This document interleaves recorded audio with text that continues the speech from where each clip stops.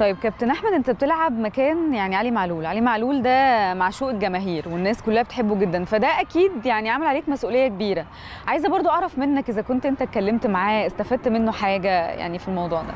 هو أنا من قبل ما كابتن علي معلول يتصاب أنا كنت دايما عشان أنا اشول فكنت ساعات بروح أعمل معاه كروسات ساعات بلعب ناحية الشمال. عشان أنا اشول دي دي مساعداني شوية إن أنا بلعب ناحية الشمال كمان في في ال back left.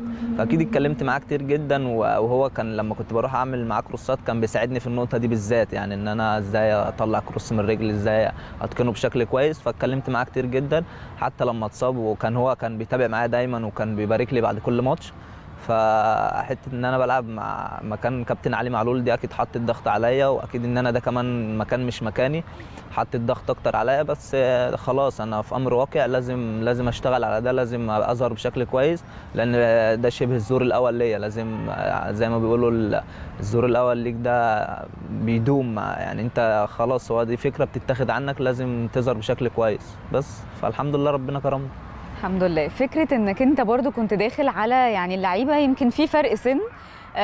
في ناس الفرق بينك وبينهم مش كبير بس في فرق برضو بينك وبين لعيبة تانية.